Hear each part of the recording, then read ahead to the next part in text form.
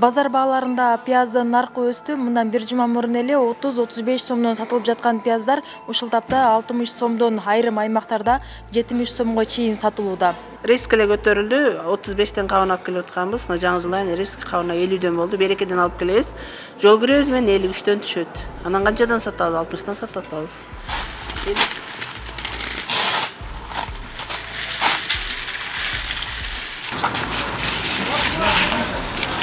Пияз турмуш тиричиликте көп колдонулган. Зарыл азыктардын катарын толуктайт. Сатуучу белгилегендей жалал абаддагы соода түйүндөрдүн басымдуусу пиязды дөң баада береке базарынан алып келишет. Мында кап кабы менен жыйылып турган пияз сортуна жараша дөңүнөн элүү элүү беш сомдон сатылып жаткан учуру.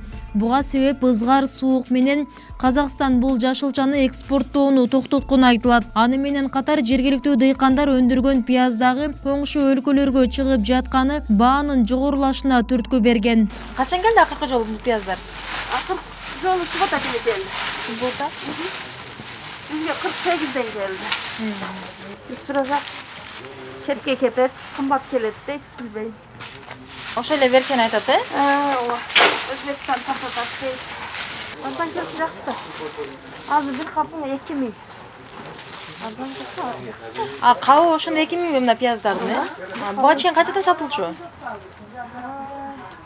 жыйырма беш отуз барып барып элүүгө чыкты айрымдар жазгы бышыкчылык келгенге чейин пияздын баасы жүз сомго жетерин болжолдоп жатышат ал эми базарга баш баккан кардарлар болушунча арзан баада алуу аракетинде мындан улам дөң баада сатылган жерге келип соода кылгандар көп. Кечээ элүү бештен алуудум ал жерде лакин үйгө алып барсам юмшак экен согуруп кеткен экен да ошондо энди ал кайтара алып келип бердим ай пулумду кайтып бер кайра алып кетип кайра мага кызданалы депман да ушу элүү эки сом элүү deyaptiyu endi qimmat bo'lsa iloji yo'q hamma yoqda shunaqa bo'lyapti ekan piyoz o'ta qimmat piyoz kartoshkalar ham endi sabzi kartoshkalar olsa bo'ladi нормально yaxshi piyoz qanchadan oldingiz piyoz ellik so'mdan qanchadan olib bo'ldingiz bu yaqin bir o'n besh yigirma kun burun yigirma so'm yigirma ikki so'm bo'lib turdi анан сразу ellikka chiqib ko'tarilib kelib turdi жаралган жагдайдан улам министрлер кабинети пияздын баардык түрүн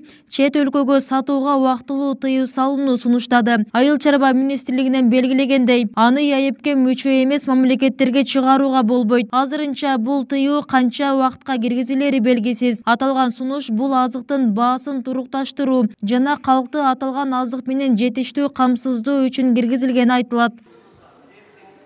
Буга чейин казакстандагы пиязды экспорттоого үч айга тыюу салган. Коңшу өлкө мындай чечимин өзбекстан менен пакистанда күздө түшүм жакшы болбогондугу менен байланыштырып базарда орусиядан ташылган продукция көп экендигине токтолгон. Өзбекстанда аталган жашылчаны экспорттоого төрт айга тыюу салган. Кыргызстандын статистика комитетинин маалыматына ылайык өткөн жылдын он бир айында кыргызстан он эки жарым миң тоннага жакын пияз импорттогон. Анын ичинен бир миң үч жүз тоннасы казакстандан алынган алынган. Ошол эле учурда он бир айдын ичинде кыргызстан сыртка бир миң тогуз жүз тонна экспорттосо анын төрттөн бири казакстанга сатылган. Бүбүсара оразалиева шерзат эгембердиев жетинчи канал жалал абад